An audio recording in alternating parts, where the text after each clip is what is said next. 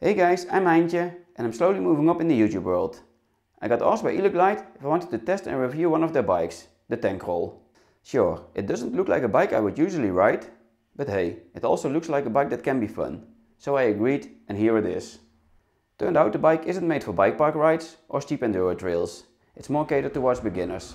Okay, I got myself an absolute beginner, my mom, to also test the bike. Of course, I have to see if the bike can get off the ground and handle some jumps. So that will be the first thing I do, after the intro.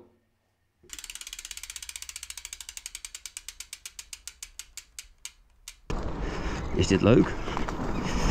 In order to get some airtime, I went to my local dirt jumps. These start relatively small and go to decent sized gap jumps. I've done these jumps hundreds of times across my other bikes, so I know them by heart by now. Nonetheless, it took me quite a few runs to get used to the bike. The Tankroll is a budget e-bike. It only costs 1200 euros and sure it is a tank. Did I say my was already on the heavy side? This one weighs even 4 kilos more, for a total of 28 kilos. Now the weight has its advantages as well as disadvantages. One of those advantages is the stability in the air, so this should be the place where the tank can shine. The scary thing, and the reason why it took me so many runs isn't the weight, it's the weight distribution. This bike has the motor in the back wheel, changing the balance a lot compared to mid-motorbikes. Holy shit, dit voelt raar. At one point I switched to my hardtail to feel the difference.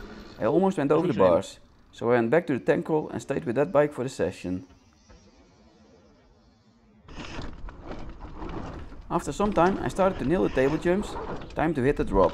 Normally I go straight for the big one, I have to admit I was a bit scared so I went for the small one. That wasn't even too bad. The scariest thing are the brakes. The bike has 160mm mechanical disc brakes and looking at the specs of the bike I assumed this would become an issue. Strangely enough they didn't feel that underpowered. The issue was the four finger braking required. While jumping you want to hold onto your bars, also requiring your fingers. This meant that after landing I first had to move my fingers to the levers before I could start braking. Anyway, I was slowly hitting more and more features, time to hit the big gap jump. Again, a jump I've done so many times was all of a sudden scary again. It took me a couple of run-ups and then hitting the smaller option first, before I finally went for it.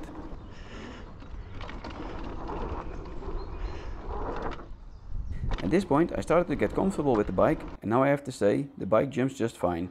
I really expected this to be way worse. Sure, it takes some time to getting used to, but once you're used to the weight distribution, it can handle all the entry level jumps. The stability in the air and the comfort of the fat tires might even provide a bit of confidence for beginners.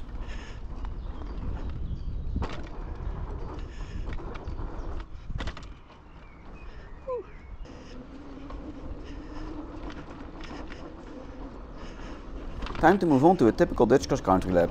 You can get more beginner level mountain biking than that. A few short climbs and a lot of cornering, mostly berms though. First I had the absolute beginner rider lap, before I gave it a try myself.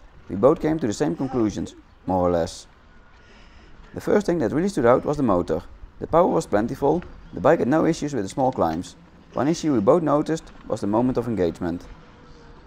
The bike is pretty slow to both engage and disengage.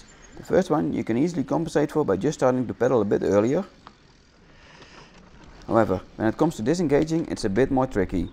When you stop pedaling because you want to make a turn and the bike still pushes you forwards, this led to some misturns for both of us. One advantage of the motor being in the back wheel is it doesn't affect the drivetrain. Even in the wrong gear, you can put in the power and then shift to the right gear. The bike has only 7 gears, however combined with an assistance it seems to be plentiful. The shifter is a bit, well, let's say it an odd choice. I get that on a budget bike every component has to be cheap. I don't see how a shifter on top of the bars is cheaper than one underneath. It's for a reason most bikes have the shifter on the same side of the bars as your thumb. Speaking of the bars, this brings me to the next issue I have with the bike. The bars are just too small, even to the point that my mother noticed this. Especially with a bike this heavy, you want all the leverage you can get to maneuver it around. Again, I don't really see how an 800mm bar would make the bike more expensive. So I shipped the bike with a 650mm handlebar. You can always cut down the wide bars if that's what you prefer. Making them wider is unfortunately not an option. Now I have to recommend anyone who buys this bike to get wider bars and a shorter stem, basically adding 50 to 100 euros to the bike. Beside these issues, how was the beginner experience? The bike did give my mom confidence. She feels that the fat tires really help with cornering. They also provide some comfort. Altogether, she would rate this experience as a positive one. And how about a rider a bit above the beginner level? Well, the bike didn't disappoint me. It handled the lap more or less how I would expect from a 1200 euro e-bike. Again, it's clear that this bike takes some time to getting used to. It doesn't feel bad, just very different. So we'll need some time to test it some more, on more challenging trails.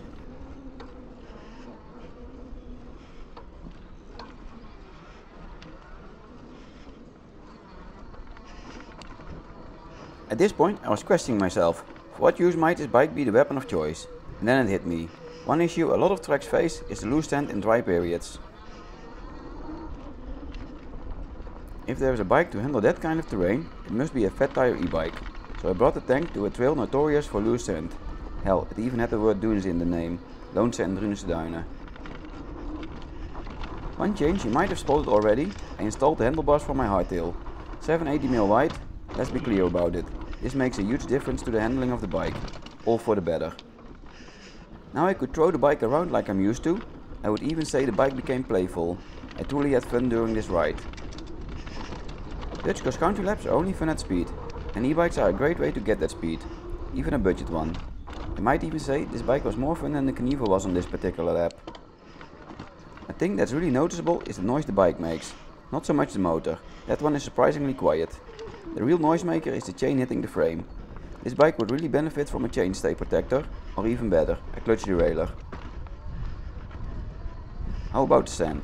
This bike isn't a miracle worker, the loose parts are still sketchy, however not as bad as on skinny tires. I never had any trouble following the trail. I did also attempt a few climbs a bit steeper with different success. First of all it's important to make sure the motor engages before hitting the climb then the bike could go through sections or the bikes will stall, for sure. Maybe you should also lower the tire pressure for this. Only I did not want to risk a flat with this bike, not at all. The amount of air that goes into the wheels is no fun for a small trailside pump. Also, I didn't bring the wrench required to remove the wheels.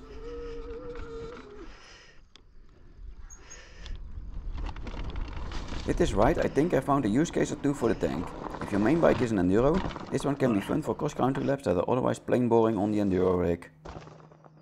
Or when you live in a place where the trails become too loose to ride in dry times, this bike allows you to keep riding those trails a lot longer.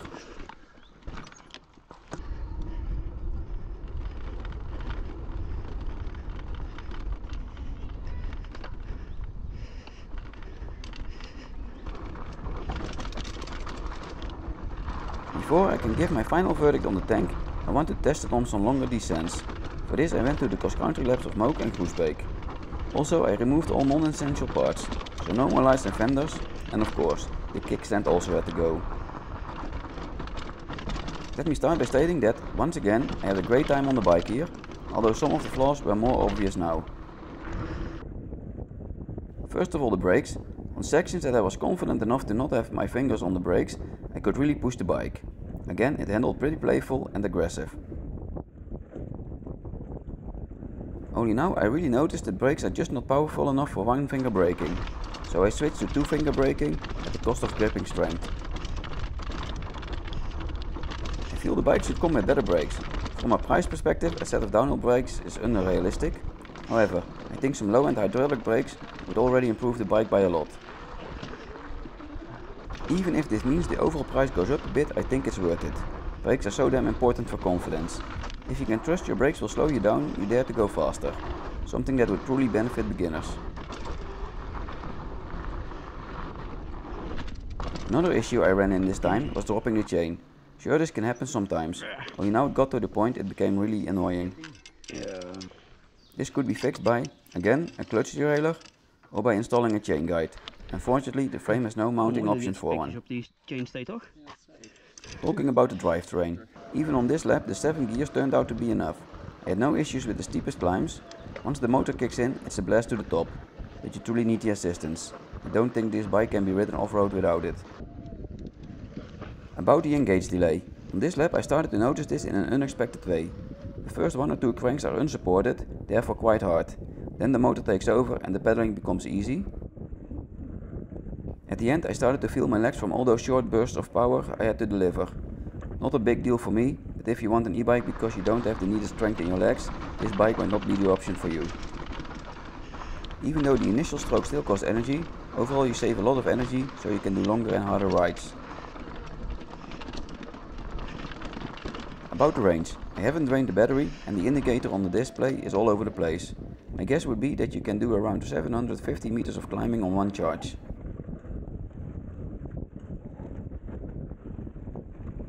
The last thing I really noticed during this ride was how much I missed the dropper seat post. Now this is a thing I can't reasonably expect for this price, however this might be a good future upgrade once you get the bike. So time to finally conclude the video and answer the big question. Can the Eleglide Tankroll be fun? The answer is simple. Yes, this bike can be a lot of fun. Mountain biking is fun, and this bike can handle some low to medium level mountain biking, therefore the bike is fun. The quality isn't that bad, I think I did my best trying to break it, without success, thankfully. Everything feels solid, except for maybe the fork, but that might also be because of the flimsy look. Is the good bike for beginners? I think this depends on the fitness of the beginner. If you lack any stamina, an e-bike is great for you. This one might be an option. If you're fit, I think you better get a non-e-bike for the same price. Bike handles a bit harder than conventional bikes, but it doesn't have to be a bad thing. Once you get used to it, the bike is just fine. And if you ever get a better bike in the future, you'll find that everything becomes way easier. About the price. I would say the bike is worth the 1200 euros it cost, and while 1200 is ridiculously cheap for a bike, it's still a lot of money. Also keep in mind that you want to install a wider bar and maybe some other small upgrades.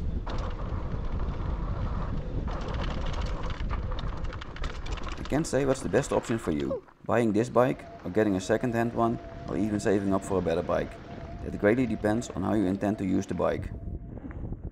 This bike is a good option for someone who wants to use it occasionally, maybe you're the kind of rider who only rides it once in a while, or you want a bike for in bad conditions, then this bike might be for you. What brings me to the next point. If this video somehow convinced you to get one, you can use the code HEINTJE on checkout and get a whopping 20 euro discount. This code works for all the Eleglide bikes, not just the Tankroll. Of course, you can find a link to the site in the description. With that, I've come to the end of the video. I hope you enjoyed it, even if you're not at all interested in this bike. I sure had fun riding the tank and making this video.